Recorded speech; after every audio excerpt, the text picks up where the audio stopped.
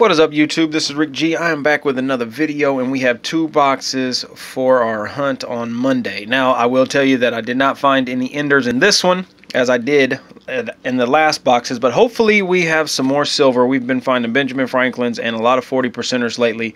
Uh, pretty happy about the last uh, what five boxes or so. So we're going to get into these on Monday, see what's going on. I still have to mark the rolls and then have my wife put them back in. We have the Silverlope uh, box right here full of full of stuff.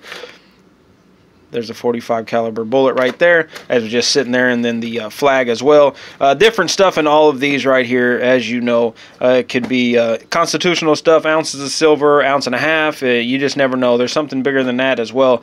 Uh, but it still has to come out. We got quarter pieces of paper that people still need to find as soon as you find four of those you get another ounce of silver. So hopefully we're able to find some more quarter pieces of paper this stream.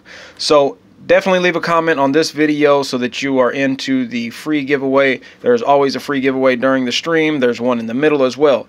So I hope to see everyone in the stream tomorrow. It is 6 o'clock p.m. Central Time. So until next time, good luck to you. I hope you profit on all your searches. Don't forget to like, subscribe, share. Leave a comment down below. Tell me what you think. And until next time, good luck.